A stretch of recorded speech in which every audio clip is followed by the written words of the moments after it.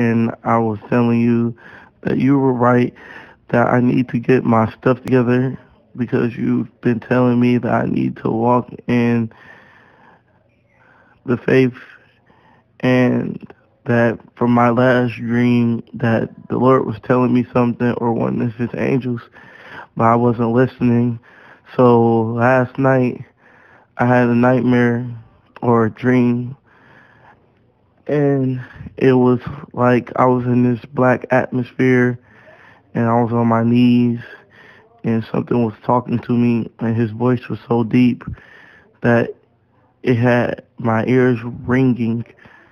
It felt like like oceans crashing together and I wanted to look at him but the the light was so bright it made my eyes feel like they were burning.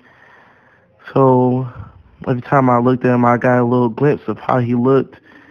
He looked like I could see the outline. He had a beard, black beard, like nice size afro, wool hair.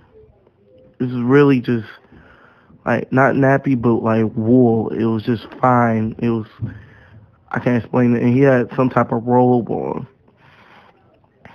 and he was just telling me that if I didn't get my stuff together or start doing what I'm supposed to be doing and reading the Bible like I'm supposed to be reading it, that my life is going. I'm I'm going to keep on going through stuff in my life and it's not going to stop until I walk down that line that is set forth for me.